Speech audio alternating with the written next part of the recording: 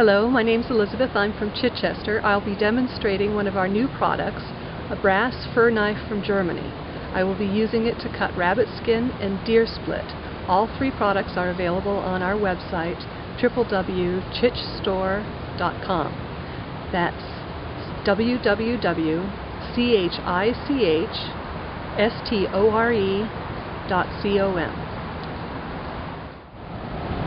Here I'm demonstrating how to load the razor blade into the fur knife. It's two pieces, the brass fur knife, and an old-fashioned, very sharp razor blade. You set the razor blade onto the knife so it is around the circle and hits the notch right there. Slide it closed,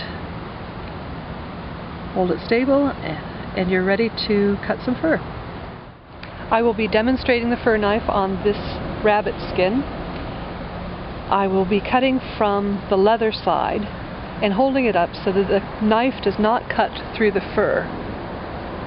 I will also be demonstrating on deer split how you draw it along a straight line and we're even going to try a little squiggle. I'm going to be demonstrating on a piece of deer split. I've drawn a straight line and cutting with a fur knife is much like drawing. Slide it in and follow along the line. It's very smooth. At the end,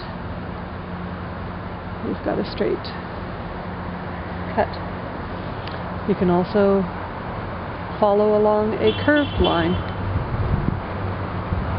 And again, you can twist the, the fur knife just like you would a pencil.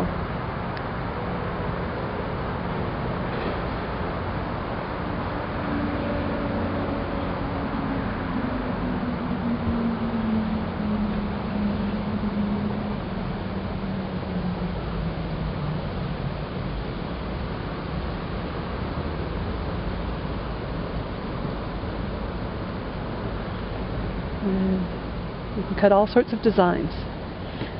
You can cut all sorts of fabrics. Here's a rabbit fur pelt. What I like to do is cut backwards to get my little start. I hold it taut to keep the fur and I can slide it right through weren't leather at all. And it keeps the fibers from being cut on the other side.